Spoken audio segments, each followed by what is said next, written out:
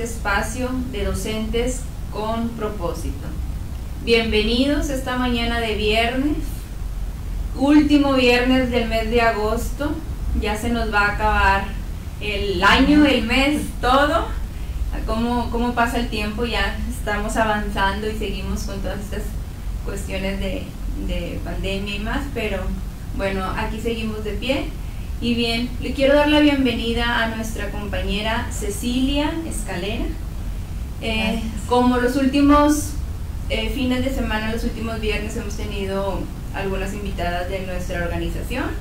El día de hoy no es la excepción. Este, me da muchísimo gusto que estés aquí, Ceci. Ahora de este lado. Me decía Ceci, pero ¿cómo va a ser la, la este, pues sí, la charla y más? Digo, tranquila, normal. Lo que queremos es que conozcan un poco más de las entrañas de nuestra fundación, que conozcan la, eh, la esencia del personal que se encuentra dentro de la misma. Y bien, pues bienvenida Ceci, mucho gusto. Muchas gracias, muchas gracias. Este, al contrario, es, para mí es un honor, ¿verdad? Este, que me hayan invitado y pues eh, me da bastante gusto también poder compartir pues algo de lo que hacemos, que pues puede ser un granito de arena, pero pero a veces necesario. Entonces, este, pues aquí estamos con mucho gusto y, pues, a la orden. A la orden. Muy bien, pues muchas gracias, Ceci. Este, lo primero que queremos saber y, el cual por este, te, invitamos es primero, ¿quién es Ceci? Antes de tus funciones, de lo que desarrollas dentro de, de la organización, de la Fundación Marcelino Muñoz, ¿quién es Ceci? ¿Quién es Ceci? Como persona, tú extiéndete en, en, en, las áreas que tú decidas. Ok, ok. Voy a, permítame sí, Tenemos un poquito. Sana distancia. Una distancia, sí.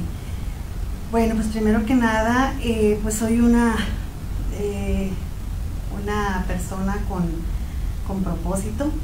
Soy una persona que, este, pues, si hay algo que hacer, pues te dedicas, te enfocas y lo haces. Eh, en el ramo de la docencia, que es en el que yo me desenvuelvo más tiempo, eh, pues fue, fue, una vocación que a mí me surgió desde secundaria, desde secundaria, y este proyecto del cual eh, impartimos con el doctor Marcelino en la fundación de docente tutor, pues ahora a mí me viene a dar mucho sentido porque cuando yo estaba en la secundaria, realmente mi vocación surgió a través de un maestro, de una maestra. Eh, esa maestra pues a mí me inspiró, me inspiró su, su desempeño, su vocación. Este, y pues el papel tan importante que tenemos los maestros con nuestros alumnos, ¿verdad? Para, para hacer ese, eh, esa pues esa inspiración para ¿Cómo, ellos. ¿Cómo te despertó ese espíritu de esa maestra? Pues porque era una maestra muy enfocada en nosotros los alumnos, muy estricta, sí, porque era algo que, pues a los alumnos necesitamos muchas veces en ese nivel, sobre todo secundaria. Eh, y era una, una maestra pues muy centrada, muy enfocada en su, en su en su trabajo y, sobre todo en estar atenta en qué hace cada alumno, conocer al alumno. Y pues bueno, yo dije, esto es lo mío. O sea, yo un día voy a estar allá. Eso fue lo Quiero ser como ella. Y en un día, eh, en esa ocasión yo decía, un día voy a estar allá, yo estaba en segundo de secundaria. Este, y cuando salí de la secundaria dije, quiero encontrar a esa maestra. O sea, no quería, no quería perder su, pues su, su contacto o, su historia porque en un momento dado quería yo agradecerle. Que por ella pues yo había tenido esta este esta ocasión. Este pero pues las cosas de la vida pues así son. No, no logré yo contactarla. Y pues bueno eh, te voy a platicar un poquito esta historia porque sí sí me, me, me gustaría que la conocieran porque a lo mejor muchos de nuestros alumnos pudieran eh, pues pudieran identificarse. Porque en aquel entonces yo decidí, o bueno, más bien dicho, me nació esa vocación de ser maestra, Y en aquel entonces tú presentabas el examen para ser maestra saliendo de secundaria, para Ah, entrar a la normal. Entonces, No había prepa. O sea, no, te exigían la prepa. que- que no, no la te exigían la prepa, sino que de la secundaria tú ya pasabas a, a tu examen y a la normal básica, ¿verdad? Entonces, pues yo en, en mi familia, pues vi que unos de mis hermanos hicieron el examen. Uno sí pasó, el otro no. Al que se le veía mucha vocación, no pasó, y al que no se le veía mucha vocación, sí pasó. Entonces, pues bueno, entonces yo dije, bueno, a mí es algo que me gusta, voy a presentar, voy a, a ver qué sale. No pasé. Pero, este, pues como dice Marcelino, la ignorancia te lleva a otras, a cometer otras situaciones, ¿verdad? Pero yo lo veo como una oportunidad. ¿Por qué? Porque me dio la oportunidad de seguir otro camino, estudiar la prepa, estudiar una licenciatura, que también lo quiero mencionar porque este, cuando yo decidí en la carrera, todos en mi casa así como que, ¿qué te pasa? O sea, eh, eh, eh, la, carrera que yo quería era ciencias de la comunicación. Entonces, pero yo en mi etapa de niñez y adolescencia siempre fui introvertida, siempre fui pues así como que no hablaba mucho, ah, este, pena hablar en público, etcétera. Entonces en mi casa pues siempre como era la más pequeña, era la única mujer, entonces pues siempre me veían como que, este, pues, pues si tú ni hablas, me dicen, si tú ni, ni ni decían en ese aspecto, ¿verdad? Entonces, una de las cosas que nos habla el docente tutor pues es que, que este, nos ayuden para que sean guías y nos, eh, pues nos pongan realmente eh, las, eh, las condiciones para poder estudiar lo que tú quieres. Sabemos que muchos de nosotros y muchos de los ahorita alumnos no tienen esas, esas condiciones. Sin embargo, este, pues yo seguí mi sueño. Entonces yo, yo dije, bueno, pues precisamente porque no hablo, precisamente porque eso es lo que quiero aprender. Entonces desde ahí yo empecé a hacer esa carrera. Eh, terminé mi carrera, gracias a Dios. Y también estando en la carrera tuve oportunidad de, pues, de estar en otros cursos, estar en otros diplomados, estar también en cursos de docencia, porque pues era mi vocación o mi pasión ser docente. Eh, y yo quería, siempre decía, yo quiero estar allá, yo quiero estar allá. ¿Y cómo le voy a hacer para estar allá? Entonces tenía que prepararme. Y eso, pues también en el, en el proyecto de Centro Tutor te habla de un propósito. Entonces, si tú tienes ese propósito, pues lo vas a seguir y vas a buscar las formas, las maneras, las acciones que te van a llevar a cumplir ese propósito, aunque los demás te digan no puedes, no, no, no, y este, por ahí no, mira, esto te va a dejar más dinero, te vas a morir de hambre, este, eso es mi trabajo, y así te empiezan a poner situaciones de ese tipo, pero pues uno, bueno, al menos en mi caso, es como que no escuchaba, o sea, yo seguía mi, mi línea, mi propósito, y al final pues terminé, gracias a Dios, fui haciendo un poquito de, de capacitación en otros aspectos, y luego ya, pues dije, ahora sí es mi momento de estudiar maestra, porque ahora sí voy a, a cumplir mi, mi sueño inicial, ¿verdad? Eh, y fue cuando ya entré a la norma superior y que ahí pues ya tenía, como ya tenía mi prepa, pues ya la norma superior es lo que te piden, ¿verdad? Sí. Entonces, este, sin embargo, yo mi otra carrera yo la fui ejerciendo en todo, porque pues tú sabes que la, la comunicación en todas partes se aplica, en todo lugar, ¿verdad? Entonces, este, para mí me sirvió bastante para conseguir también mi propósito. Y, y entonces, pues, eh, terminé mi, mi norma superior y afortunadamente, pues he estado eh, trabajando como maestra primero en colegios, que también era mi pasión estar en colegios y bueno, pues ya después hubo la oportunidad de entrar a, a Secretaría de Educación y pues ahí es donde estoy ahorita. Este, yo empecé a trabajar desde los 15 años, precisamente porque, eh, por una invitación, entonces eh, ahí todavía yo decía, bueno, me voy a la prepa o dónde me voy, o sea, no sabía ni qué hacer. Sin embargo, se vio la oportunidad de trabajar. Y pues no lo pensé. a esa edad, o sea, no, no lo pensé, fíjate, nomás pedí permiso a mis papás, este, era de secretaria, entonces obviamente ahí donde yo iba a entrar le pidieron a la persona que se iba a retirar que me capacitara, pero pues nunca hubo llamado para capacitarme, entonces cuando se llegó a la fecha de entrar, pues tuve que entrar así sin, sin saber, y este, y pues así como sin saber, pues fui a prueba y error, o sea, como todas las cosas las fui aprendiendo en el proceso, en el hacer, este, y pues bueno, ahí duré ocho años, entonces afortunadamente pues me, sentí muy a gusto, me sentí muy bien, aprendí muchas cosas porque era trato con la gente, y me encanta el trato con la gente, este, servir a la gente, porque se trataba de, servir, apoyar, era un, era un servicio que estábamos dando, entonces este, para mí yo me sentía feliz, ¿verdad? Y como te digo, ya después, pues ahí la, la, prepa, la carrera, y, y, después estuve trabajando en un, en un departamento de comunicación también más adelante, ya después de de graduarme y ahí también tuve la oportunidad pues, de, conocer muchas personas, de, ser, este, de hacer, porque eso es lo que mucha gente me dice, ya, tranquila, o sea, siempre estás de aquí y allá, y pues sí, pues es que es mi esencia, o sea, me gusta hacer, me gusta ayudar, me gusta apoyar.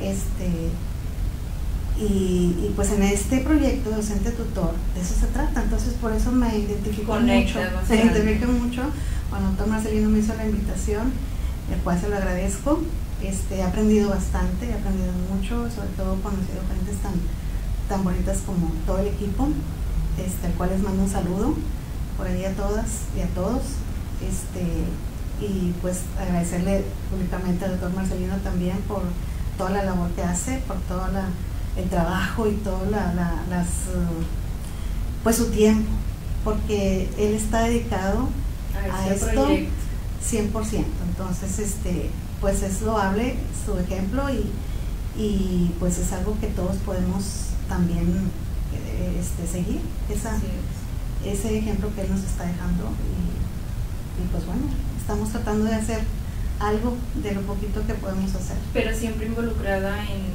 la docencia, en, poder acompañar, y siempre ha sido de, bueno, secundaria, preparatoria, ¿cuál fue? o desde primaria también. Eh, sí, me ha tocado dar en diferentes niveles, en primaria, secundaria, preparatoria, este, y pues afortunada en todas, o sea, me he sentido muy a gusto en todos lados, hay veces que he estado en colegios donde a veces ni nos, nos podían pagar, porque pues sabemos que a veces los colegios tienen algunas situaciones difíciles.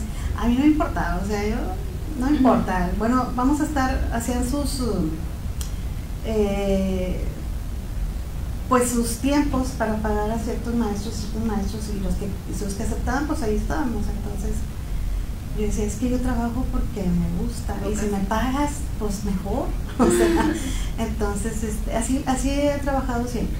Trabajo por, por esa, esa misión, esa pasión que me gusta. Que, me gusta. Es lo, mejor, es lo mejor. Y luego dices, pues si por eso me pagas. Pues, pues estamos, en, estamos en la gloria. Claro que sí, pero no trabajo por, por este, porque me pagues. O sea, me gustaría hacer más cosas y, pues bueno, he estado en diferentes este, mm, áreas, áreas. De oportunidad, como en, en el IF también, estuve en el departamento de orientación familiar, estuvimos trabajando en las, en las pláticas de, educación matrimonial.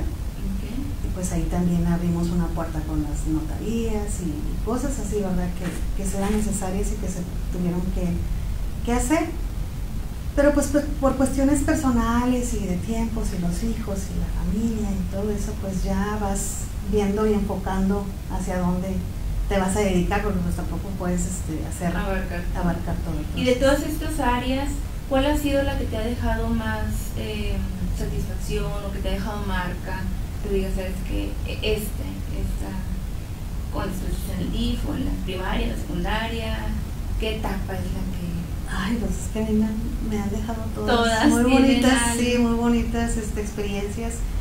Precisamente ahora con la pandemia, pues sabemos que son cosas extraordinarias que tuvieron que pasar, que no las teníamos previstas, que los muchos maestros no estábamos preparados para esta situación, que tenías que de la noche a la mañana prepararte y, y buscar un curso de digital y buscar un curso de, de otra cosa, de dispositivos y estarte preparando y estarte actualizando, este, pedir apoyo en la, familia, porque pues también este, los hijos apoyan, nos han apoyado, al menos en mi caso me han apoyado bastante como maestra y como en todos los, aspectos.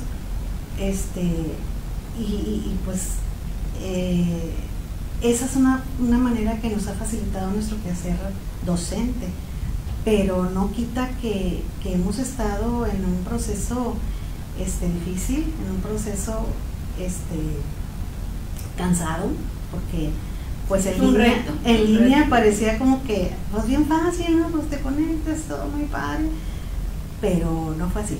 Los alumnos te buscaban a todas horas, los papás a todas horas, y luego sus actividades te las mandaban, pues obviamente en fotografía, tenías que estar viendo tarea por tarea, foto por foto, está verificando si lo hizo no lo hizo, si, o sea, este, porque pues hay de todo, hay alumnos de todo, ¿verdad? Unos alumnos muy cumplidos, otros que se tardaban casi este, el mes para entregarte su, trabajo, pero uno tiene que ser empático con ellos, porque a veces dices, bueno, pues a lo mejor no tiene la forma, a lo mejor no tiene el medio, a lo mejor no tiene este, pues el recurso económico, porque pues no todos tienen internet, tienes que pagar, no todos tienen computadora, tienes que utilizar el, dispositivo de papá, de mamá, mamá a veces no está, papá pues tampoco, entonces hasta que llega papá y mamá me prestan el dispositivo y es cuando yo puedo conectarme con la maestra, poderle decir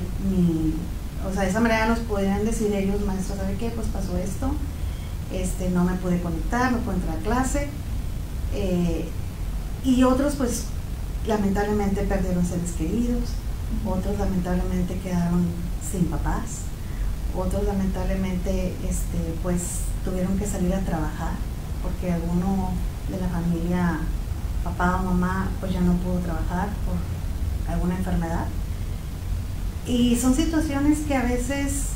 ¿Cómo sobrelleva el docente ese tipo de situaciones? O sea, ¿cómo también es algo nuevo para nosotros, es algo nuevo para todos, de todos los niveles. Entonces, ¿cómo sobrellevas este, estos procesos más cuando sucede algún tipo de pérdida? ¿Cómo esa línea no, hasta dónde poder tener ese pues, acompañamiento con el alumno? Pues fíjate, este, ese es el secreto, acompañar al alumno, porque a veces el maestro se convierte en el segundo papá, segunda mamá, este, como luego dice en la escuela la segunda, la segunda casa, pero, pero ahorita aquí que nosotros no estamos frente a frente, que no estamos físicamente, este, por, por una pantalla, tú dices, híjole, o sea, quisiera ir y, decirte algo, quisiera ir y abrazarte, quisiera ir y consolarte. Sin embargo, pues tampoco podemos hacerlo, ¿verdad? Por nuestro, nuestro trabajo docente no nos lo permiten, pero pero sí estar acompañando, sí estar como estás, tus papás, qué haces. Que más enfocarme en una clase es enfocarme en cómo están, qué sienten, qué les pasa, qué sucede. Y muchos alumnos, cuando están en grupo, no se animan a hablarlo. O sea, ellos te buscan como en privado para poderte platicar sus cosas. Eh, cuando estás en grupo no, no siempre eh, no siempre lo externan, les da un poquito de, pues de pena, no sé, No, no, lo quieren externar. Y uno lo comprende, entonces, pues ya cuando te contactan en privado, pues ahí es donde tú ya le das el seguimiento y empiezas a platicar con ellos. Si es necesario, les haces una llamada. Y, y pues a veces este, los mismos papás te buscan, te llaman. Y este, muchos papás preocupados porque a veces sus hijos se tienen que quedar solos, no saben si entran a clases o no entran a clases porque pues tienen que ir a, trabajar. Entonces el alumno de repente no entra y tú le mandas el mensajito al papá pues para preguntar qué está pasando, por qué, este, cuál es la razón por qué su hijo no está entrando a clase, cuál es la razón por la que, este, si hay algo en lo que podamos apoyarle y todo, porque pues no podemos ni nosotros exigir, ni, ni regañar al alumno, ni, ni, decirle este o, estarle exigiendo algo hasta que no sabes. O sea, nosotros tenemos primero que saber qué está pasando. Entonces, es nuestro, nuestra labor es estarnos contactando con ellos, estarlos buscando por todos los medios, porque a veces alumnos que no te contestan, no se conectan, entonces hay que estar localizando con otros compañeros, estar localizando por correo, estar buscando el teléfono del papá, una base de datos que tenemos en la escuela. Y tenemos que hacer una conexión entre todos, o sea, maestros, prefectos, administrativos, directivos y, papás, o sea, entre todos. Y entre todos pudimos sacar este año adelante, con las condiciones que sean, con las condiciones que, que al final de cuentas este lado no estuvo de acuerdo, este lado sí estuvo de acuerdo, este lado hizo algo que no era correcto, este sí, entonces sabemos que no todos estamos 100% de acuerdo en todo y no podemos este, estar dando, por decir, el lado a todo el mundo, sino que simplemente hacer lo correcto, hacer nuestra labor, hacer lo que nos corresponde y más, porque no nada más hicimos lo que nos correspondía, sino este, estar atentos al, alumno, estar atentos a, los papás. Y, definitivamente hubo alumnos que no se conectaron en todo el año. No hubo manera, entonces nosotros no podemos decir, ah, fue alumno flojo, ah, fue alumno que no le gusta, fue alumno... no, no sabes cómo está su salud, este, o si tiene internet, tiene eh, todo lo necesario. ¿Por qué? Porque no tuvimos ningún contacto.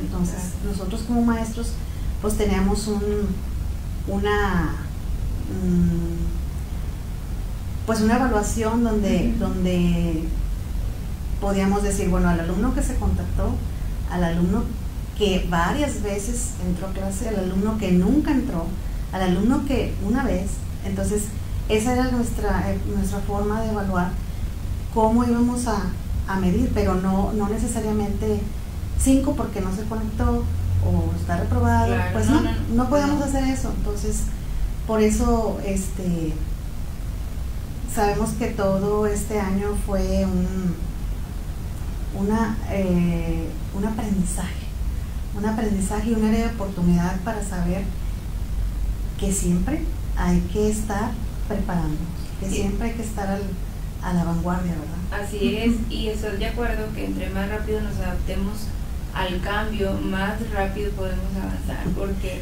de entrada sí es un choque, a ver, espérate, y ese miedito, ver cómo, pero entre más rápido aceptas la situación, es decir, pues es lo que hay y vamos sobre eso, este, pues nos vamos a poder identificar. Eh, Precisamente esa es, una de las cuestiones del maestro. El maestro, este, en su, en su generalidad, nos hemos adaptado a todo a todo, tenemos una facilidad de adaptarnos a lo que nos diga. Separar este, los aspectos personales, porque no porque tengan la personalidad o la profesión de ser un docente. Eh, también son madres de familia, también eres madre de familia, eres hija y más, entonces el, cómo tomas ese rol y dices voy a hacer a un lado, porque no nada más el alumno puede estar sufriendo algún tipo de pérdida, sino como docente el proceso que puedes estar llevando en lo, personal, en lo económico y más, este, y siempre mostrando tu, tu, buena cara.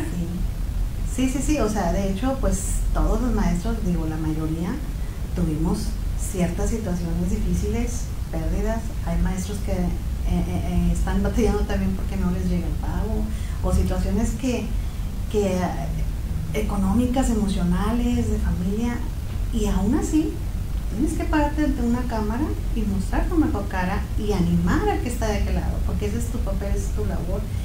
Y, como te digo, este, darle más énfasis a la parte emocional que a la parte conocimiento. O sea, de nada me sirve eh, eh, eh, compartirte conocimiento si no me lo vas a captar, no me lo vas a entender, porque tú estás tu mente está en una situación problemática con papá, con mamá, con los hermanos. Amén de los, de los matrimonios que, pues desafortunadamente tienen que separarse. El hijo Digo, nos tocaba ver alumnos que, maestra, es que hoy no me voy a conectar porque hoy no tengo que irme con mi papá. Hoy no me voy a conectar porque voy con mi abuelita porque pues allá me va a dejar mi mamá, etcétera. Entonces, a veces las abuelitas hasta nos hablaban, maestra, es que yo no le sé a esto y mi, mi, mi, nieto no se puede conectar y yo no sé cómo hacerle, este, dígame por favor y, y este, y pues tienes que estar al pendiente y atenta a las necesidades que propias del alumno y del papá más lo que se implica este eh, pertenecer a una institución educativa porque pues Sí. es todo todo un conjunto todo es de manera integral que envíe el entonces- reporte y que son Exacto, exacto, y todo lo exacto. administrativo. y tienes un tiempo o sea no Sí. es de que digas cuando tú quieras o sea, este es el tiempo que tenemos pero también hubo mucha empatía de parte de nuestros directores porque también ellos nos decían tranquilos o sea hagan las cosas ustedes también sienten, ustedes también tienen sus problemas, ustedes también, este, nosotros también nos comprendemos a ustedes y no queremos presionarlos, nos queremos simplemente este, hacer las cosas de la manera más, más profesional y de la manera pues más empática posible con nuestros alumnos, padres y, y nuestros mismos compañeros docentes, ¿verdad?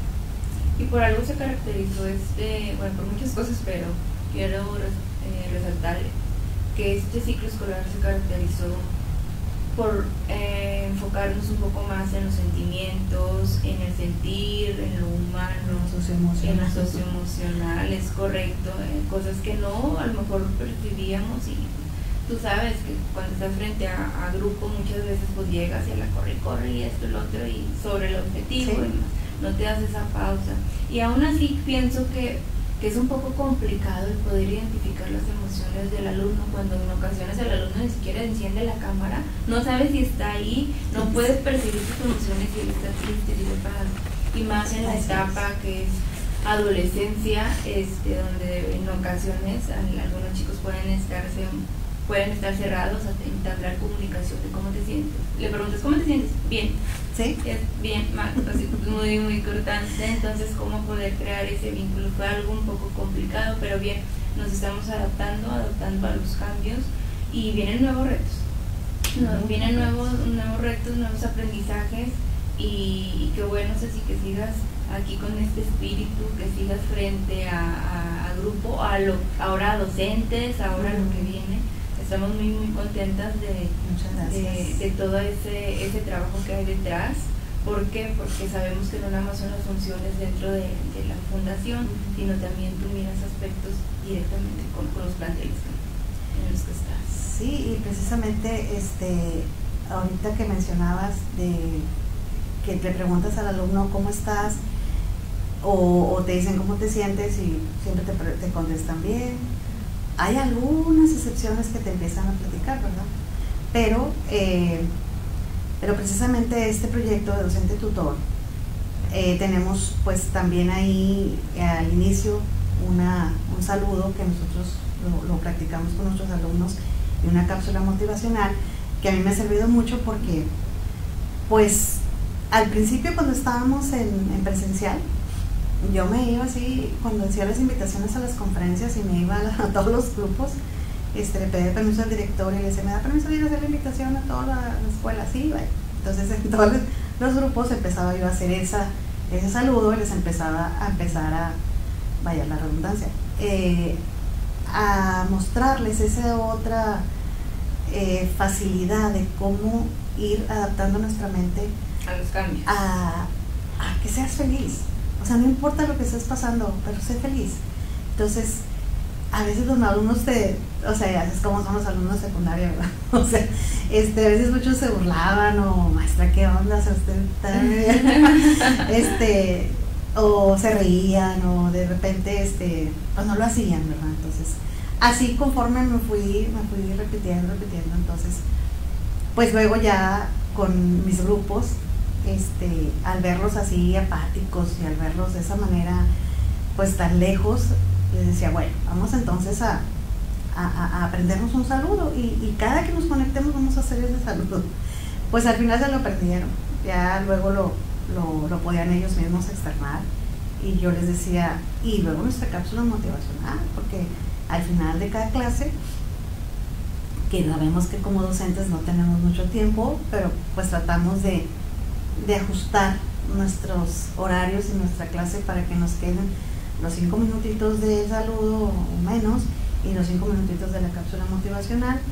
Y entonces, este, pues era muy divertido porque muchos chicos de repente unos gritaban, o sea, así como con mucha emoción, otros... Ya no sabía si se estaban burlando, sí, estaban jugando, jugando, exacto, pero, pues con que lo hicieran, con que lo hicieran para mí ya era, era este satisfactorio porque yo sabía que eso era ese entrenamiento que, que queríamos lograr y que el doctor Marcelino siempre nos ha dicho, o sea, con el simple repetir una frase positiva, tu mente se va entrenando para ver eso que tú estás pidiéndole, o sea, eso que tú estás diciendo.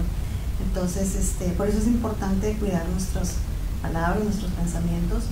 ¿Para qué? Pues porque eso va a venir, va, a cumplirse. Entonces, este, a veces mis alumnos no me entendían, entonces tenía que entrar en el, en el, en el tema de cómo funciona el cerebro, cómo lo hacemos que trabaje, qué tienes que hacer para esto. Y aparte yo agregaba por ahí ejercicios de gimnasia cerebral que me ha servido bastante también con la programación neurolingüística.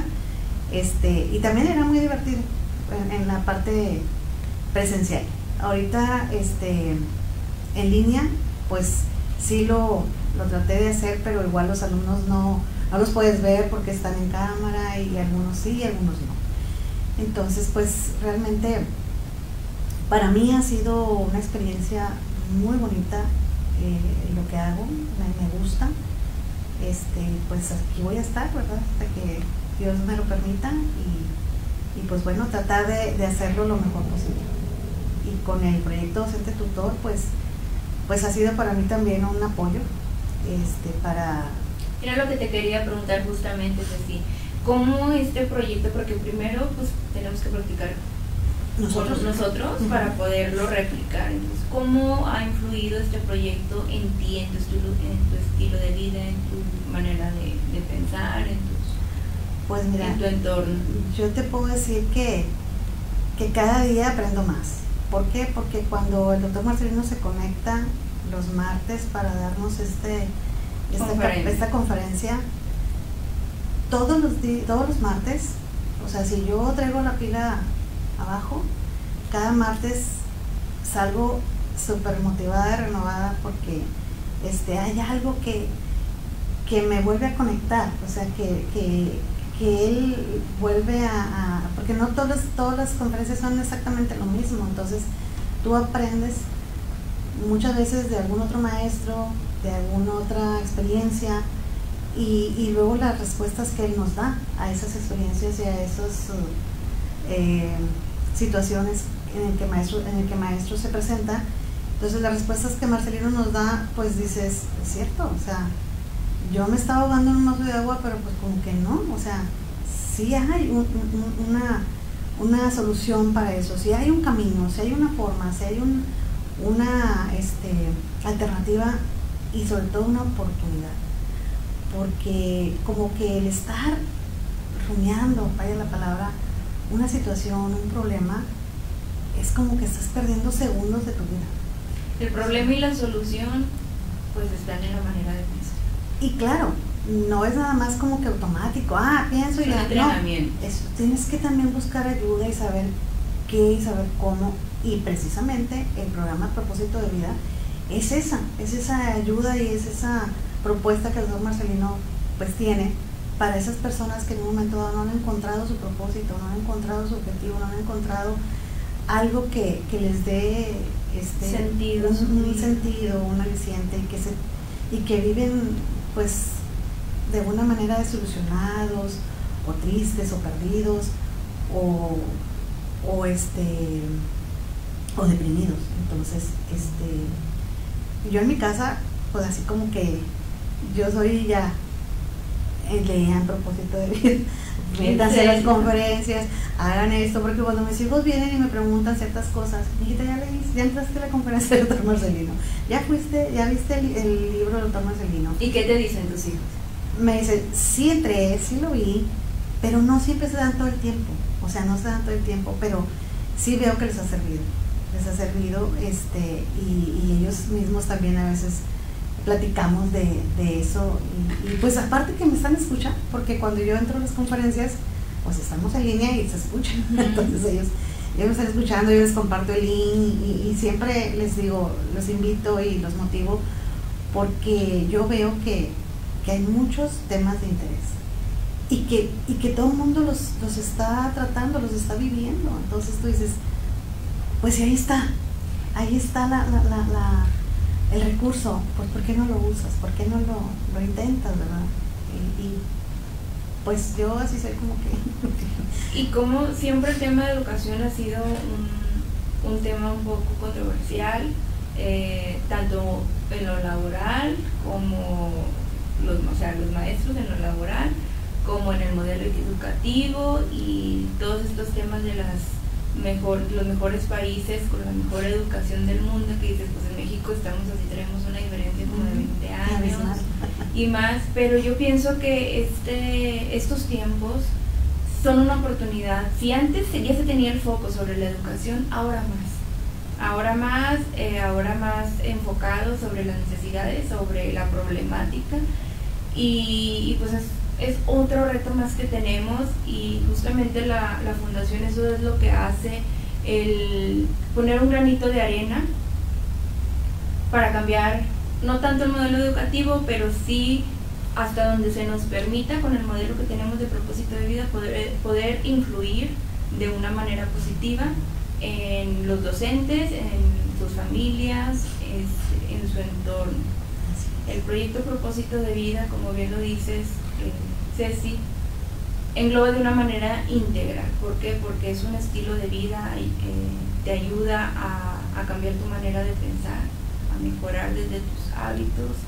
El sufrimiento y la felicidad, según las eh, según nuestras creencias o nuestro, nuestro pensar, está en nuestra forma de pensar. Entonces desde ahí nosotros se basan mucho, se derivan muchos temas, temas que tenido la oportunidad de impartir frente al grupo, con lo del decálogo y más. ¿Y, con qué te has enfrentado, por ejemplo, en el primer tema del proyecto Propósito de Vida, este, donde ya nos hablaste un poco del, de, lo del saludo motivacional, pero el, primer tema de, propósito de vida de, de docente tutor es que el alumno encuentre su carrera profesional. Es guiar al alumno para que, al alumno para que encuentre su carrera profesional, porque para nosotros el primer propósito a corto plazo o mediano plazo es que no deserte.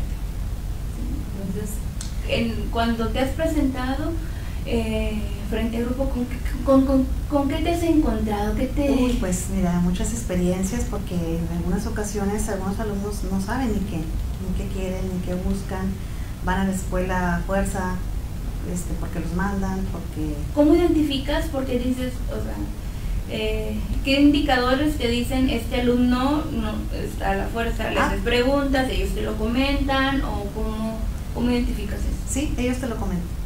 O sea, ahí la, la, la, la idea es pues eh, a través de preguntas, entonces pues ahí tú te das cuenta, ¿verdad?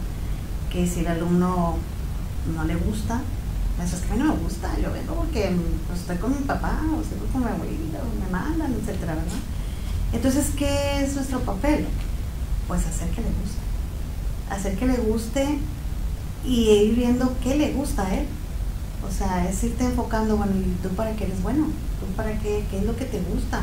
Me tocó, me ha tocado en otras ocasiones hacer ese ejercicio de, hay chicos, eh, pues no sé si la moda o la etapa o el, el lugar, no sé. Les gustan mucho las canciones de, de rap, las canciones, el, baile tipo este hip hop o algo así, ¿verdad? Entonces, a mí me gustaba identificar en mis alumnos como que ver la variedad que había en mi grupo. O sea, a ver, a ti te gusta cantar, a ti te gusta qué, a ti te gusta qué, a ti te gusta qué. Entonces todos me decían, a mí me gusta, maestra, te voy a decir una cosa y te iba en el secreto. Es que yo me gusta rapear, pero vergüenza. O sea, entonces le decía yo, bueno, a ver, cántame aquí una canción. ¿De veras? Sí, cántame la, canción. Y luego pues había otros que les gustaba bailar, había otros que les gustaba hacer música, entonces les dije, bueno, ¿qué les parece? Tú rapeas, tú tocas y tú bailas. Entonces hicimos un, un, ejercicio de ese tipo de que pues hasta ruedita hicimos, ¿verdad? El chico que sabía rapear dice maestra, pero dice palabras obscenas, o sea, ¿sí me deja? Pues claro que lo voy a dejar porque pues es lo que él sabe, es lo que él quiere, lo que le gusta. Y a través de eso, cuando yo conozco lo que ellos quieren, lo que ellos son, lo que ellos buscan, pues entonces ya entra mi papel de guiarlo, de guiarlo de la mejor manera. Si yo sé que tu rap sirve para esto, pues te lo enfoco a, una área en la que tú pues puedas educar en valores a través de tu canción o educar en valores a través de tu graffiti o educar en valores a través de tu, de tu baile, ¿verdad? O sea, que, que era, esa es la, la, la, estrategia de cómo enfocar sus habilidades, sus capacidades y desarrollarlas. Entonces, tengo una teoría personal, ahorita que dices sobre el rap, sobre el hip hop y más, porque muchos jóvenes a nivel de preparatoria coinciden con esto con este estilo, con este gusto. Y mi teoría personal es que buscamos expresarnos. Entonces, porque lo que relatan, lo que dice la letra, habla, pues agarran un tema, que si la novia, que si ellos, que si la sociedad, que si el gobierno, que si papá. Entonces, te das cuenta, más, más allá del estilo de la música, que como dicen, en gusto se, se rompen géneros, es que esté expresando el alumno. Y ahí muchas veces no te lo va a decir eh, en una plática un poco formal, no, te lo puede eh, decir de esta manera eh, y, que, y que tengan todavía estabilidad como que para que queden las combinaciones y, y es entrenar, entrenarse para inclusive tener una conversación, la habilidad, la habilidad para poder desarrollar rápido una, una plática o, ligar temas y más. Es algo muy, muy interesante, pero yo pienso que, que quieren sentirse escuchados y expresar su sentido. Exactamente, porque a veces les, decimos, ay, ¿por qué andas este, haciendo eso? Eso no es música, este, pues no sé, o sea, damos, un, damos una etiqueta, ¿verdad? Entonces, pues eso no, no, no es guiarlo, simplemente es eh, este, minimizar lo que él quiere, lo que le gusta. Y pues si eso hacen en su casa y luego el maestro hace lo mismo, entonces el chico que dice, pues, que estoy haciendo algo malo, o esto me da miedo, ya no lo quiero expresar porque pues a nadie le gusta, etcétera. Entonces, lo importante es saber qué él quiere.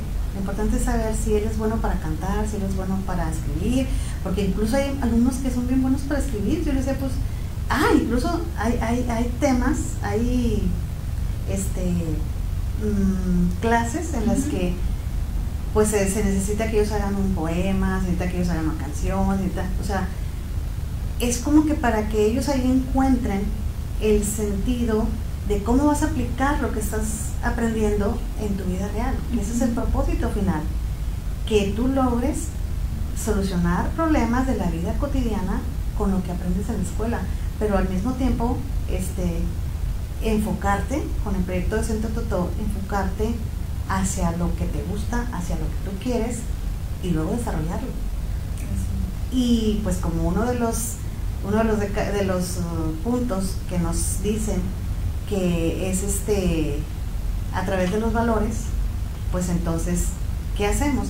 Guiarlos a través de lo que te gusta, pero siempre dando el mensaje con valor, con valores. Entonces, este, es una tarea difícil, es una tarea lenta, porque no es de la noche a la mañana, no es este, así como que yo diga, hoy lo voy a lograr y no los alumnos pues a veces son herméticos, a veces este, te lo permiten, a veces no. Pero cuando logras esa conexión y logras que el alumno este, sepa que tú te estás interesando por él, que eso es lo que como acabas de decir, es lo que él busca, que te intereses por lo que él hace y que no lo juzgues o que no le, le eh, lo frenes, o que no le estés diciendo este, situaciones ahí, pues, desmotivantes. Entonces, él va a ver que tú puedes potencializar eso que él, que él hace. Incluso a veces uno tiene que buscar la manera que digas, bueno, ¿de qué tema les gustaría hablar? Entonces a veces que yo los he tenido alrededor de mi escritorio porque quieren hablar de los novios, de las novias. Entonces, órale, pues sí, ahí estás, ¿verdad? Y unos hasta lloran, otros te cuentan cosas que dices tú, qué padre. O sea, esa es la conexión que a mí me gusta. O sea, sí me, sí me gusta este, dar mi, mi labor docente, mis conocimientos, porque en esa parte soy muy estricta.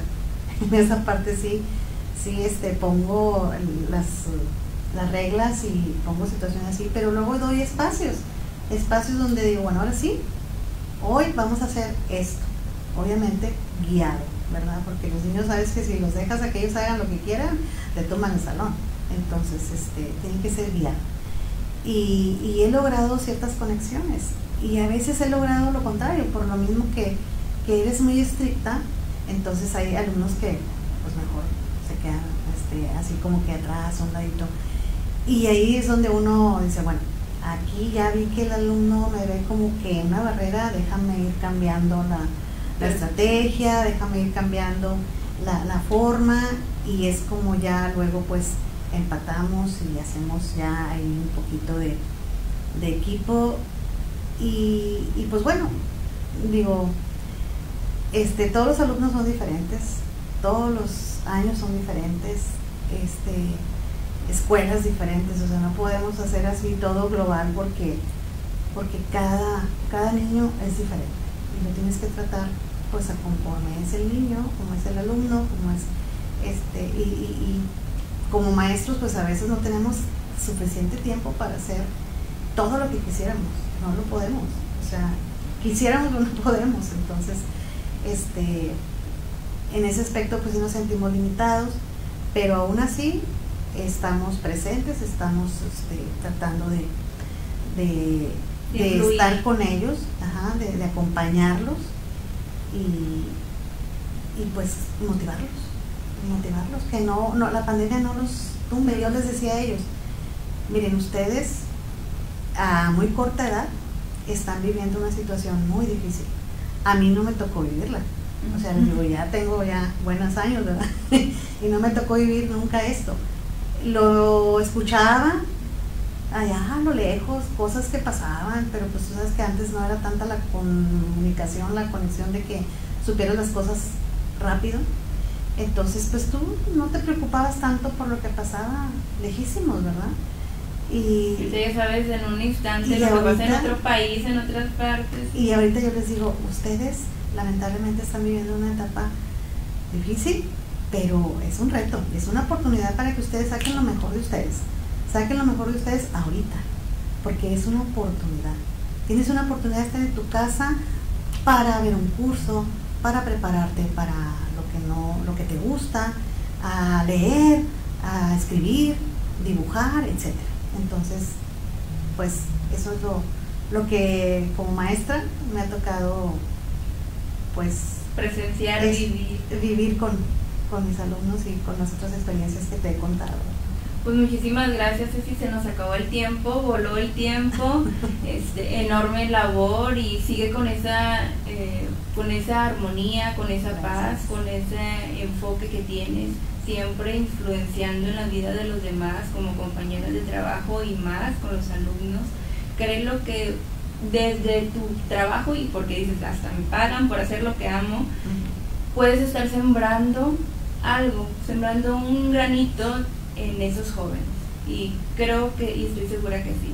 Y bien, pues ya para estudiar el programa te enviaron unos eh, Pedro Guerrero, ah. Ana Escalera, tu hija, aquí están presentes, Lucy Trejo, Judith, Mariana Escalera, eh, Mayela Torres, oh, pues muy bien, pues están presentes y oh. muchísimas gracias Muchas gracias a todos por, por estar presente y, y pues a ustedes por la invitación. Nos vemos el siguiente viernes. Un gusto. Dios quiere. Gracias, saludos. Y no se olviden conectarse el siguiente martes todos los martes a las 11 de la mañana tenemos capacitación de docente tutor en, por medio de Facebook. No, los esperamos. Y pues si me permites también invitar a la conferencia magistral de Marcelino el 4 de septiembre a las 6 de la tarde en punto por las eh, redes sociales de la página de Facebook de Marcelino Muñoz y la Fundación Marcelino Muñoz. Los esperamos pronto. Gracias. Gracias.